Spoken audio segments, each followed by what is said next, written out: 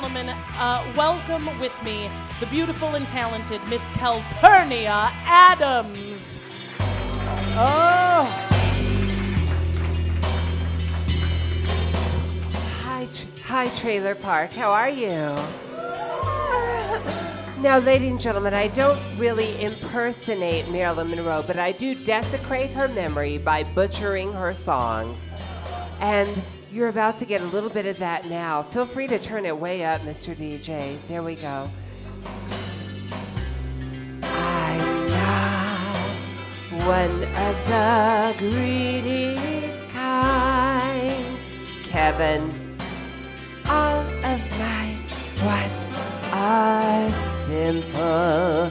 Kevin, I know what's on your mind. Kevin, it's personalized.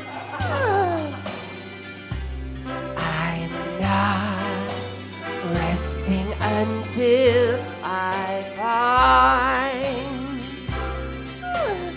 what would make your eyes glisten, Kevin, with joy. now listen, big girls boy. I wanna be loved by you, just you, Kevin, and nobody else but you. I wanna be loved by you uh, alone, Kevin. boo boo, but do. Tiffany. Cartier. Black Star. Roscoe. Talk to me, Winston. Tell me all about it. I'm blind without these. A kiss on the hand may be quite continental, but diamonds are a girl's best friend. A kiss may be grand, but it won't pay the rental on your humble. Or help you at the automat, whatever that is. Men grow cold as girls grow old, and we all lose our charms in the end. But square cut or pear shaped, these rocks, they don't lose their shape. Diamonds are a girl's best friend. Tiffany. Cartier.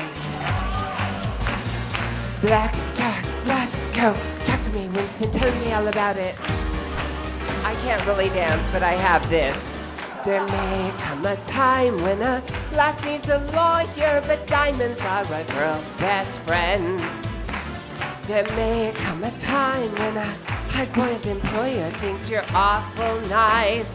But get that ice or else no dice. He's your guy when stocks are high, but beware when they start to descend.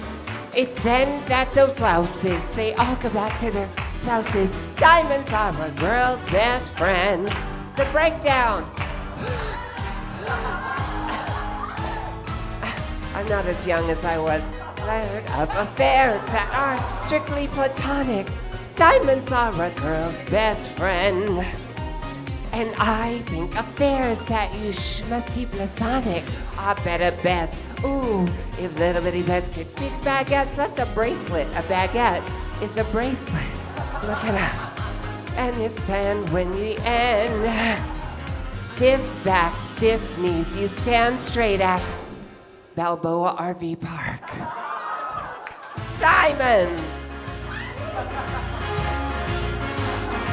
Diamonds! I don't mean rhinestones, but diamonds. Andrew's best friend. Best friend. oh, thank you. Thank you. I'm getting over a cold, Oh, so Calpernia it's a little more, Addams. a little more Bea Arthur than Marilyn. That was oh lovely. Oh my Yeah. goodness, Personalized. Ms. Like in Gentlemen Prefer Blondes, right? Also, I'm blind. I did notice. and Here's what I liked about it: is that you take your glasses out of your elaborate bosom. Yeah. You say to the audience, "I can't see without these," and you put them on. I think it's something we can learn from this. You know. I, my act is always like I'm here with you, or I, I'm not that untouchable goddess. Like- Obviously, like, like some of us untouchable goddess. who are, you know, after the show, I'm constantly like, "Leave me alone. I'm too important." Oh, Calpernia, I am so delighted that you are here. and full disclosure, Calpernia and I have met before. Mhm. Yes, we had a little we had a little meeting here in the RV park. Tete a tete. A tete-a-tete. it's true. That means head to head in French. and we did. And uh, we um, met and we talked and we ran around the RV park. Yes. And we introduced you to Marilyn. In fact, I encourage you to go to the Trailer Trash Talent Revue YouTube channel. Where you can find a link to Austin eventually. Um, and uh, you'll see the complete interview. You'll also see the video of Kevin and I in the batting cages and miniature golf and stuff like that. So there's lots of fun video there. So, but we met because you introduced yourself to me and you said, Hello, Dawn. I read your article in LA Weekly, and you should know that I am also trailer trash. Yes, I am Tennessee born and bred. I uh, uh, did live in a trailer at one point uh, in my youth, as you all should if you're going to be from Tennessee. And when I heard about this show, I was like, it's a match made in heaven. is because you we have we have the mural of Marilyn Monroe on the wall out there. We got the wings here. You're an angel from somebody's perspective, aka Charles's. You look like an angel right now. Charles. Did you know Charles is a single fella? Charles, I told you. He he Do wears cologne. He's actually got a really nice trailer, Calpernia. Oh. Um, now, you, I mentioned before you came on that you have this like crazy resume, and it is so incredible. First of all, you have won a Peabody Award. Oh. I know. I had to Google it. Um, that's for broadcasting.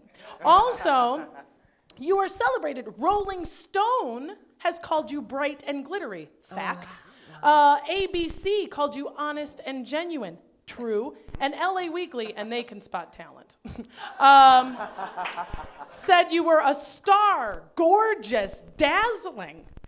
Jared Leto thanked you by name in his Oscar acceptance speech. Oh, God.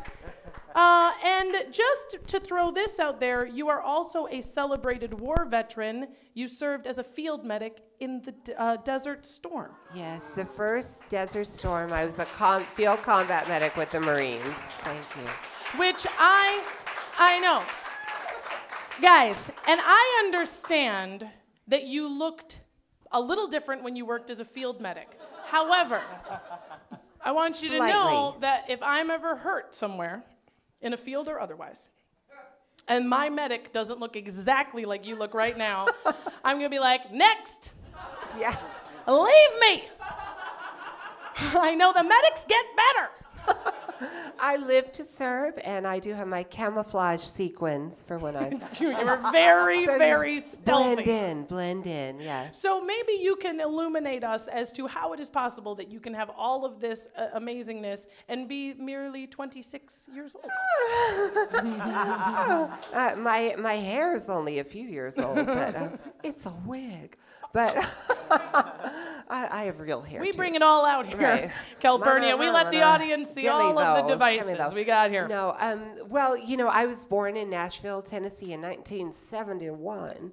Good year. And um, it was a good year.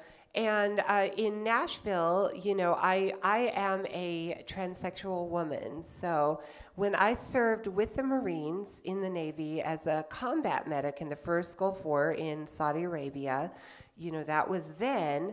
And this is now. So it's, Do you go to a lot of veterans uh, uh, events? I um well th- there was a time when I didn't feel welcome. Oh, but now people. All right, I risk my life too. But uh, people have gotten a lot cooler, and it, it was always you know I was there, but I always kind of wanted to be Betty Grable or Marilyn, you know, singing to the troops or whatever. So it's it's been great to see people open their arms to me nowadays. That's fantastic. And do you often go home to Tennessee? I usually go once a year. You know, you can't get no food like your mama's cooking. So I had to go home and get that, you know, good old Tennessee fried chicken and biscuits and just butter drenching everything and sweet tea and all that. So, you know, I, I go home as often as I can. and they are lucky to have you. Now, I mentioned in the list of amazing things that you've done, I mentioned that Jared Leto mentioned you by name in his Oscar acceptance speech. And I think we have the picture here. Now, this is Jared Leto's transformation, one, one of the images of him in the movie The Dallas Buyers Club, where he also played uh, Right. a transgender I did woman. not do his makeup. like no sir and um, and you advised him now what was one of the things that J- jared leto came to you for counsel for what was some an example of something that you did for him Well, he was playing a trans woman in the 80s who had no money, no access to, you know, sort of any enhancements or anything, just kind of living on the street and struggling to survive. And I've done years of activism work, you know, where I've tried to help out people who are struggling, you know, rejected by their families and and by society, so they do end up on the street, you know, with nothing and just uh, half dying. And this character was very much like the people that I've helped over the years. So Jared and I just talked and talked and talked about that. But also, I read the entire script for him into a tape recorder. And he told me at the after party, he was like, I listened to your voice for like 200 hours just on a loop, me saying the lines, which is really kind of weird. I, I don't think. you know what would have been kind of funny is if you could have snuck just a couple of michael leon wooley in there Yeah. that would have been you could have been like okay so this is the higher va-, and then just like do it like a very deep and be like jared and be like all right that's what she said we're supposed to do well, I guess. That's what she, this is her- she's the expert I, he may, may not have gotten the Oscar if that had happened. they would have been like interesting choice uh, choices that you made there. Now you've also got a lot of stuff coming up. You said you've got an album coming out or something. What what can Yes. we see coming from you next? well, I, I only rarely do this Marilyn shtick. I, it was, you know, I thought for Dawn and y'all I'd, I'd bring it out. But um, I actually play the fiddle and the harp and the mandolin and the dulcimer. Well, not the mandolin. I don't know why I said that. But all, all the. I don't know either because that's a random mandolin's so not even easy to say. But I play a lot of uh, bluegrassy type instruments. I grew up, you know, playing in church with my mom and daddy.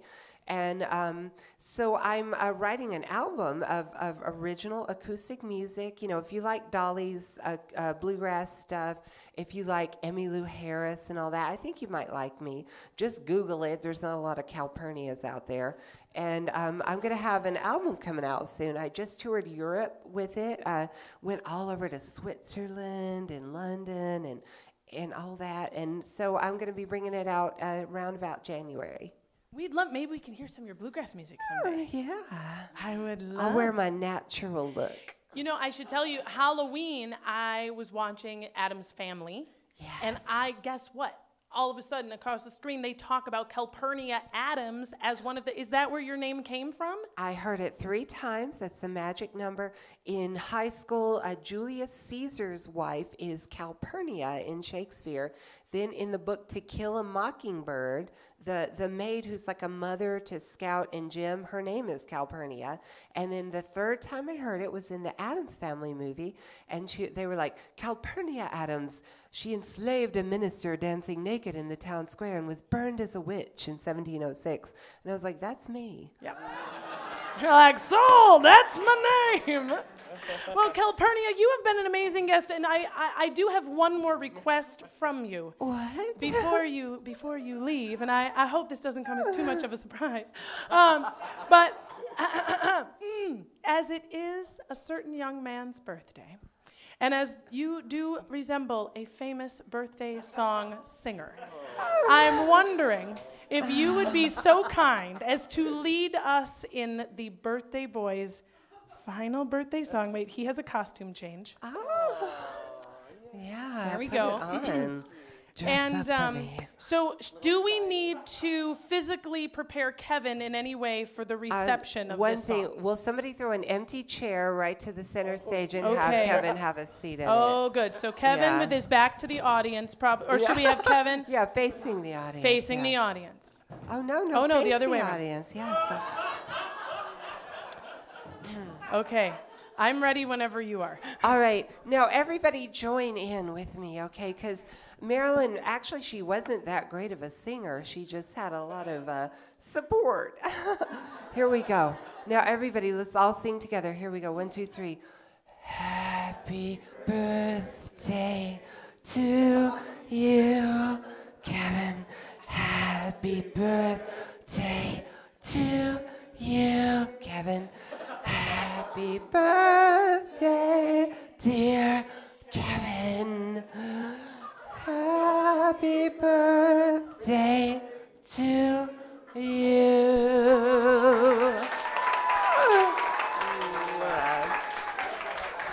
Yay! Happy birthday! And I know there's a chance you can't see those, so I'll give those back. Ladies and gentlemen, please, let's give a great big thank you to the beautiful and talented Calpernia Addams. Thank you, thank you, thank you, thank you.